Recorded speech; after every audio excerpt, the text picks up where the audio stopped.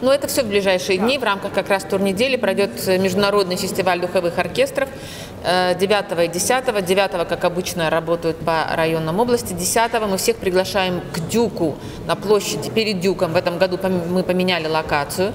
Э, это произойдет в 16.30 10 числа.